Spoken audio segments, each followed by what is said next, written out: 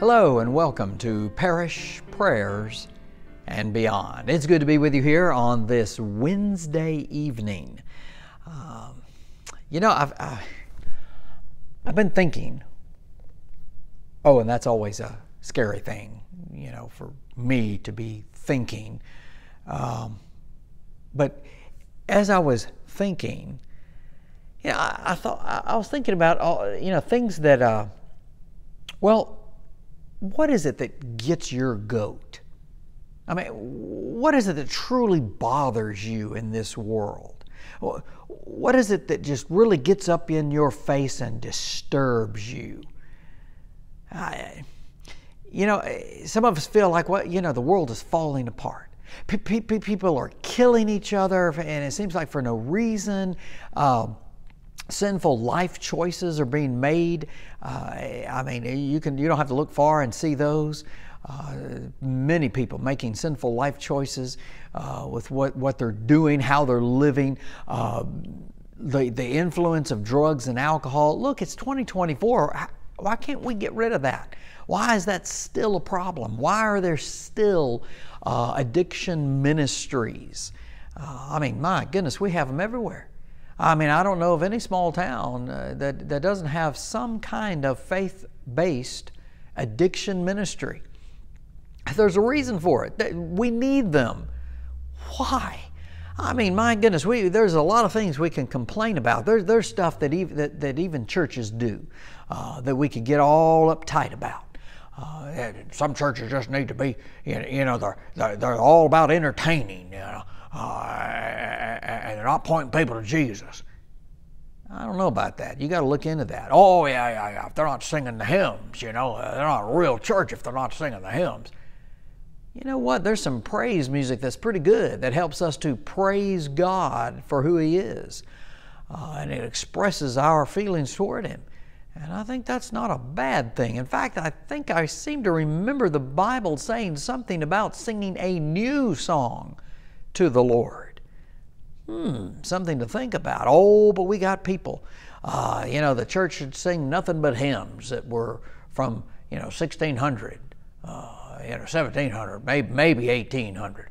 Uh, and, and, you know what? The, the, the, carpet of the church ought to be red because that symbolizes the blood of Jesus. Amen. And when you walk down that aisle of red, I mean, boy, that's the blood of Jesus. Amen. And the preacher also, he ought to wear a tie and a coat and a suit. I mean, he ought to just wear a suit when he preaches. Amen. I mean, there's some people like that. I mean, I, I don't think you ought to look sloppy in the pulpit. Uh, now, I, I mean, I got personal preferences too.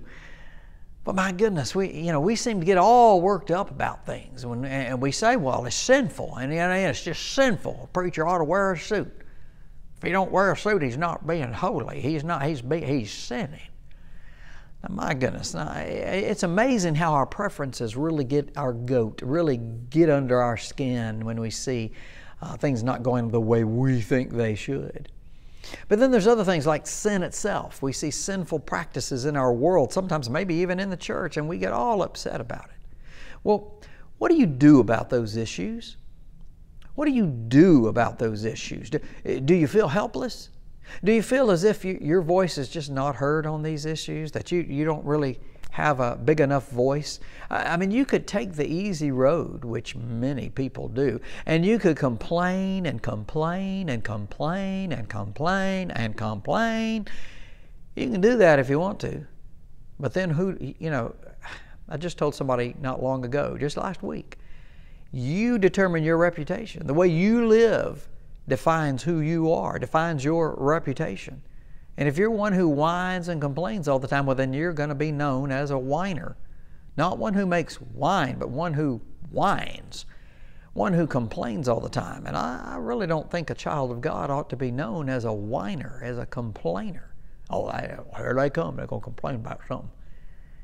Look, you and I, as children of God, don't need to be known as complainers. But you know, some people can really get stirred up. Some people can really help others to get stirred up and riled up about issues. Uh, and many feel that their route to change uh, what they see as wrong, whether it's in the world or in the church, uh, is, to, is to complain about it, just get a lot of people upset about it. and to really stir the pot. Well, you can do that.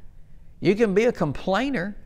You can be a complainer, or you can look at God's Word for help. And if you are a child of God, the Word of God is where we need to find our help. I tell you, it's God's book for us. It is one of the main ways He speaks with us and to us. In fact, let us look at a few words from Paul's letter to the Christians in Philippi.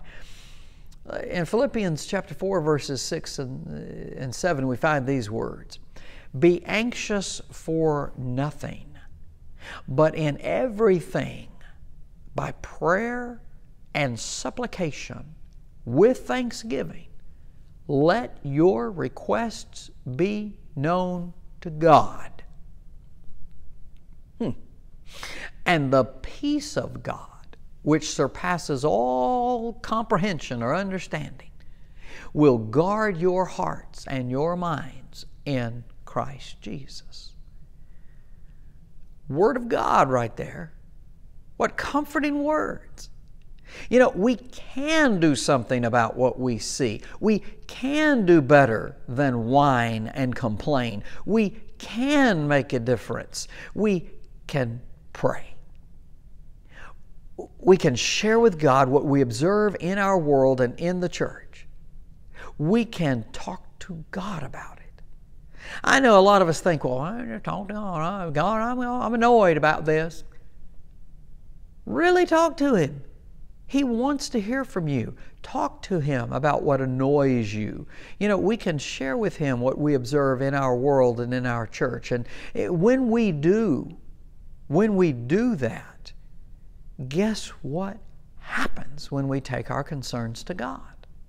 The Bible says the peace of God, which surpasses all comprehension, will guard your hearts and your minds in Christ Jesus. Albert Barnes, commentator or Bible commentator, writes these words about the peace he says the peace here, particularly referred to, is that which is felt when we have no anxious care about the supply of our wants. And we can go confidently and commit everything into the hands of God. It's that, it's that peace that we feel in knowing that God's going to take care of it. I know. I know. I know what some of you are thinking. Oh, but he just won't do it fast enough. God does it when He does it. God knows when it really needs to happen. God will take care of it the way He wants to take care of it and the way that He deems right. Listen, God's right is always right, He's always correct. He knows what He's doing. He is God. He's the definer of that which is right and wrong. So you and I need to learn to trust Him. We need to learn to trust Him. We need to learn to place what we have in His hands and let Him handle it. This peace is not a peace where circumstances have changed, our external needs are met, but it's a peace that is a characteristic of God Himself that has invaded our lives. It's a peace that God takes and puts inside of us, and we have it. And yes, we get worked up about things, we get all upset about things, but God can give us a peace that will calm us down and that will help us to depend on Him to handle our issues, what we're seeing. Look, if you is God against sin? Yes. Is He going to do something about it? Yes. You know, we, we haven't been designated as the ones to take care of the sin in our world. God's the one that does that. We're the ones to point people to Jesus. That's what our job is, to point people to Jesus. God's the one who takes care of the sin. And it does, it bothers me too. I see sinful choices out in our world and I think, my goodness, what's going on with people? Well, they don't know any better. They need to know who Jesus is. And that's where we come in. We tell them who Jesus is. So, this peace, no matter the circumstances, no matter the circumstances, this peace guards our heart. Now, what does that mean? Guard is a military term implying that peace stands on duty to keep out anything that brings care and, and anxiety. For these reasons, prayerful people are peaceful people. Does that make sense? Prayerful, prayerful people are peaceful people. If you've talked to God about it, well, then you can move along. Hmm. If you've talked about God, you know, if you talked to, to God about your issue, about whatever it is you see, you know, that you're, uh, you're just all upset about, well, all these people, blah, blah, blah, they just think they can do whatever they want. They're just trying to redefine what a human being is. And, uh, you know, they think they can just take the life of a baby. And uh, all these little issues we look at, you know, they think they can change their gender. Look, we get all upset about that. Now, look, talk to the Lord about it. I really don't believe God wants us all upset about things. Now, I'm not saying He doesn't want us to be concerned. I'm not saying He, he wants us to not be against sin. I think that He does not want us to be all anxious and upset about it, though. We have a God who can take care of it. We have a God who, take, who can take care of what we see. So let's bring those issues to Him. That's what we need to do instead of getting all complainy and whiny. So, so, so the things in this world that disturb us, that cause us anxiety and stress, God says, you know what? I can help you with that. I can give you a peace that will help you. Now, this is holy, God given peace, supernatural peace. Doesn't come from anything else. Doesn't come from ice cream, doesn't come from eating more, doesn't come from going out into a quiet and find a quiet place. It's, it's not going to come from that. It's going to come from God. A peace that surpasses all understanding, all comprehension. Peace we can't understand how in the world that it's there, but it's there because God will give it to us. What is that? What God does not say is that He will cater to our every preference.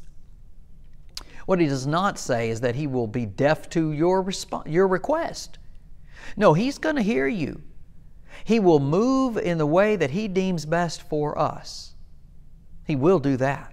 He will hear us. You know, we get upset about things and uh, that we know are sin, and we just think, well, we've got to do something about that, and we let our anger grow, and we get all upset and just mad about it and angry about it. And God says, you know something? I see the wrong in the world. I see the wrong in the world. I see the sin in the world. I see the sin in the church. I see it. God's not blind to it, He sees it. And He says to us, Let me handle that. Let me handle that. Thank you for noticing it. I'm glad you see it because you, that means you probably aren't going to be a part of it. But let me handle it. Thank you for letting me know. Now you just relax and let me take care of it. Does this mean He will not use us in, in, in changing what we wish to see changed? Uh, does this mean God's not going to use us to change the world? No, no, that, that absolutely not. That does not mean that. But, but, but too many times we act out of anger, or out of our sense of right and wrong, without even considering what God would have us to do. We, we may see a sin is sin and we're against it, uh, and, and, therefore we, we just think we have every right in the world to get rid of that sin on our own. Well, God's against it. I need to be against it. Uh, well, then I'm just going to do, do, do something about it and get angry about it. And, and, and we're acting out of our rage, we're acting out of our anger. That's not what God wants of us. Actually, God is the one who can deal with it the best. Amen? Don't you agree? God can deal with sin the best. I mean, He can do it in the best way. Maybe, just maybe, he, he can use one of us who is thoughtfully and prayerfully considering the sinful issue that concerns us rather than one who is bent all out of shape and get and, and, and, who is ready just to get rid of all people in the world who think differently than we do and who are sinning in the world maybe, just maybe, He can use someone who is prayerfully and carefully considering what they're seeing. Hmm, just maybe. This peace to deal with things that come our way um, This peace comes when we pray. This peace comes when we speak to God about the issue at hand. Uh, when we're at peace, we can think clearly and hear more clearly the voice of God. Then and only then can God use us in a productive way that reflects His love for all people. Because I truly believe that He wants to use us, yes, to change this world, but if we're acting out of anger, the people see the anger. They don't see any consideration of who they are, they don't see any kind of love in what we're doing. And we've got to show the love. We've got to reflect God's love in this world. And they're not going to see it if we're acting out of anger. Hmm. It is most difficult for Christians to reflect the love of God when they're angry. My prayer, my prayer is that the next time we see a sinful act, a sinful issue occurring in our world or in our church, that we will first pray about it, that we will take it to the Lord in prayer. As children of God, we have a huge resource in battling the sin in this world, and it's called prayer. Let us be found as children of God, speaking to Him about what we see in this world. Not be a complainer, uh, not be one who runs out and confronts the sinful issues of our world out of anger, but after we've prayerfully considered what's happening, what we're looking at. Talking to God, allowing Him to rule our emotions, our actions, allowing Him to rule how we treat those that we're looking at who are involved in sin. Pray, people. Pray. Will you pray with me? May I pray for you? Let, let me pray for you. Dear Heavenly Father, we thank you, O God, for a peace that surpasses all understanding, for a peace that allows us to thoughtfully consider what we're seeing in our world. Lord, so many times we see what's happening and we just get all angry and we want to run out there and just make it right. But God, we need to consider what you would have us to do. And yes, we see sin and we think, well, you would have us to, to, to, mar- to, to, to get rid of it. Well, now, wait a minute. If we're acting out of anger, Father, we're not going to reflect your love. So, Lord, help us to come to you, to talk with you before we act. Help us to consider what you would have us to do and talk to you about the issue. Lord, help us to not be lone rangers in the fight against sin. Help us to consider what you would have us to do in every situation.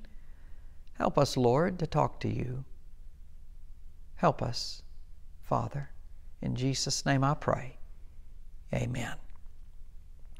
I'm Pastor Craig Beeman, and in a few minutes, there's going to be some prayer requests that are going to appear on your screen. There's going to be some announcements to follow, and I hope and pray that you'll look at those, pray with us on those issues, and, well, I do pray that you might make it Sunday.